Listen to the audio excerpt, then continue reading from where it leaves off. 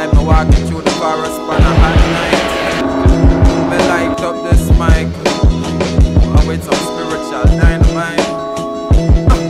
Yo, it's like me walking through the forest on a hot The problem with our industrialized diet is, is that most of us are suffering from severe mineral deficiencies and mineral deficient minerals come from processing your food outside. So you grind your corn on a stone.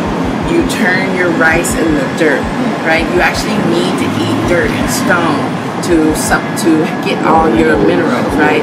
And if we're from birth to death not engaging with minerals because everything is processed on stainless steel, right?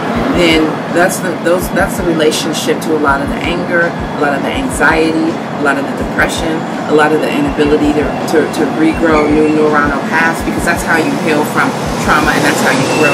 You have to burn new paths, but you need the right um, materials to be able to do that.